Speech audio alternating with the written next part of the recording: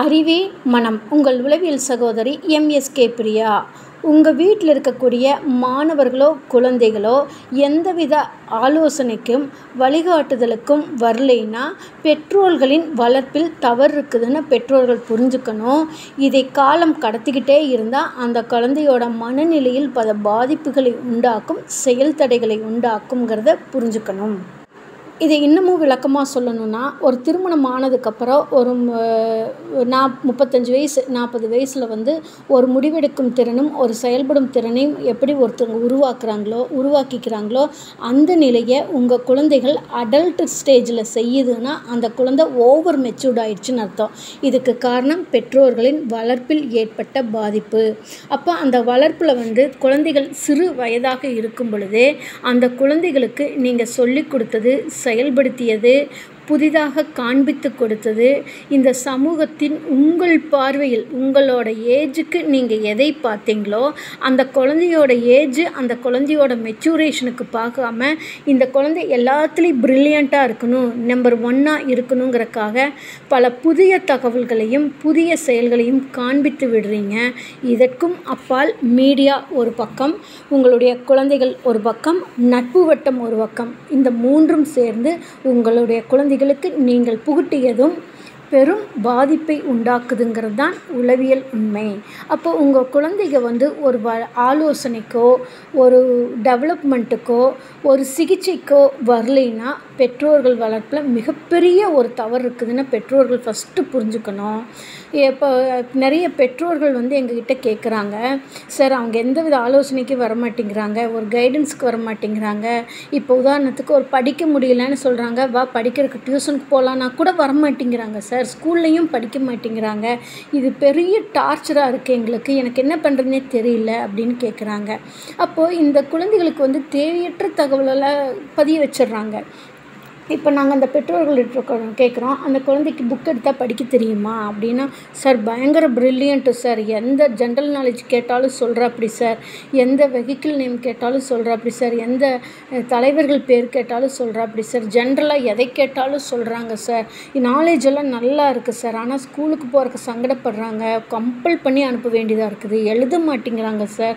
இப்படின்னு சொல்லி பேரண்ட்ஸ் வந்து எப்படியாவது கொஞ்சம் மாற்றி கொடுங்க. கொஞ்சம் கவுன்சிலிங் கொடுங்க. அப்படின்னு சொல்கிறாங்க சொல்கிறாங்க பெற்றோர்களே நீங்கள் நல்லா புரிஞ்சுக்கணும். நீங்கள் சொல்லாத அட்வைஸும் நீங்கள் சொல்லாத திருத்தலும் நீங்கள் சொல்லாத வார்த்தைகளுமா ஒரு உளவியல் நிபுணர்கள் வந்து சொல்லி அந்த குழந்தைய மாற்ற போகிறாங்க கிடையவே கிடையாது. நீங்கள் சொன்ன அட்வைஸும் நீங்கள் சொன்ன வார்த்தைகளும் நீங்கள் புகுத்துனதும் அந்த குழந்தைக்குள்ளே நிறையா இருக்குது. அந்த நிறைய அந்த பதிவுகளை வந்து நாங்கள் எலிமினேட் பண்ணுறக்கு எங்களுக்கு காலம் நேரங்கள் அதிகமாக தேவைப்படுது. இப்போ ஒரு ஃபிஃப்த்து ஸ்டாண்டர்டில் ஒரு குழந்தை கொண்டு வர்றீங்க ஒரு ப்ராப்ளம் அப்படின்னு சொல்லி கொண்டு வர்றீங்கன்னா அது உடனே ஒரு நாளில் ரெண்டு நாளில் சரி பண்ண முடியாது சார். ஒரு வாரத்தில் எப்படியாவது கொஞ்சம் ரெடி பண்ணி கொடுங்க சார்.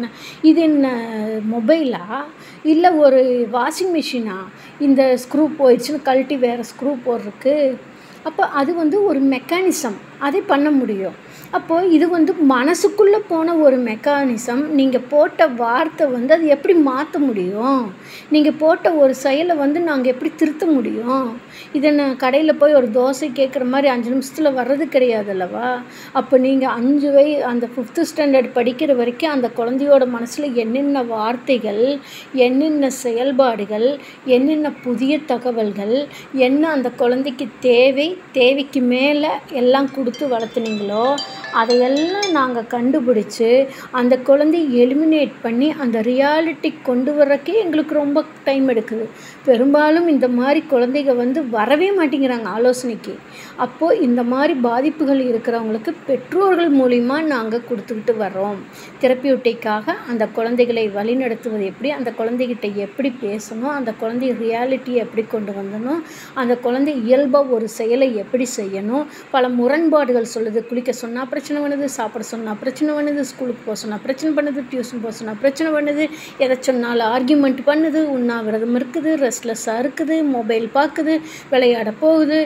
எதை சொன்னாலுமே கேட்க மாட்டேங்குது எந்த ஃபங்க்ஷனுக்கும் வர மாட்டேங்குது இப்படின்னு கம்ப்ளைண்ட்டு கம்ப்ளைண்ட்டாக சொல்லுவாங்க.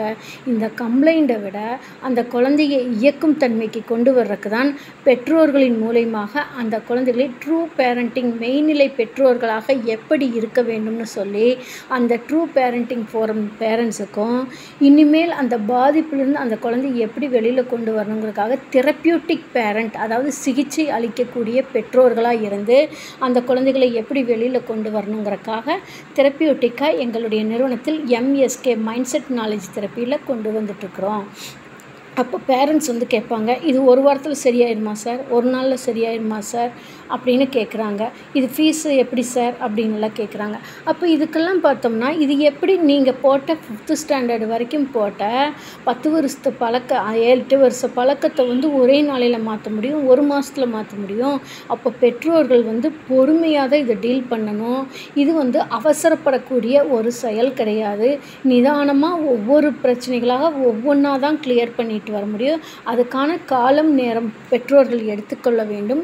அந்த பொறுமையை காக்க வேண்டும்.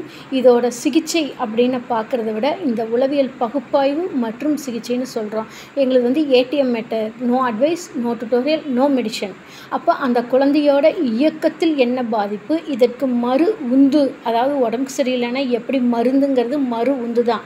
அந்த ஆன்டிபயோட்டிக் தான் மறு உந்து. அதே மாதிரி இவங்களோட மன இயக்கத்தில் ஏற்படக்கூடிய பாதிப்பை கண்டறிந்து மாற்றியமைக்கிறதுக்கு மறு உந்து தான் இந்த உளவியல் பகுப்பாய்வு மற்றும் மற்றும் உளவியல் சிக்கை சிகிச்சை மைண்ட் செட் நாலேஜ் தெரப்பின்னு சொல்லிட்டு வர்றோம். அப்போ இது வந்து இவங்களோட டிஎன்ஏல அறிவின் பாதையில் ஏற்பட்ட பாதிப்பை இவங்க கொஞ்சம் கொஞ்சமாக டைரெக்டாக வந்தாங்கன்னா ஒரு வகையிலையும் இல்லை வராத பட்சத்தில் பெற்றோர்களின் மூலியமாகவும் கொடுத்து இவர்களை இயல்பு நிலைக்கு கொண்டு வர்றதுக்கு குறைந்தது மூன்று மாதத்திலிருந்து ஒரு வருடம் அல்லது மூன்று வருடம் அவர்களுடைய கோஆப்ரேஷனை பொறுத்து அதாவது அவர்களுடைய மிங்கிள் ஆகிற தன்மையை பொறுத்து அவங்க புரிந்து கொள்ளும் தன்மையை பொறுத்தும் இதனுடைய வளர்ச்சியான வளர்ச்சிக்கான காலங்கள் நேரங்கள் தேவைப்படும். அப்போது உடனே சரியாகுங்கிறதை பெற்றோர்கள் எடுத்துக்கொள்ளாமல் இதற்காக நாம் சரியாகும் வரை உழைக்க வேண்டும் ஒர்க் பண்ண வேண்டும்ங்கிறது தான் முக்கியம். இது சமூகத்துக்கு செய்ய போக நீங்கள் இந்த குழந்தைகளை சமூகத்துக்கு ஒரு இயற்கைக்கு நல்ல குழந்தைகளாக ஒப்படைக்க வேண்டும். இந்த குழந்தைகளை நீங்கள் இப்படியே விட்டுட்டிங்கன்னா அது உங்களுக்கும் பிரச்சனையாக மாறிடும். அந்த குழந்தைக்கும் அது பிரச்சனையாக மாறிடும். இந்த சமூகத்திற்கும் பிரச்சனையாக ஆகிரும். இந்த குற்ற உணர்வில் பெரும் பெற்றோர்கள் பாதிப்படைகின்றார்கள்.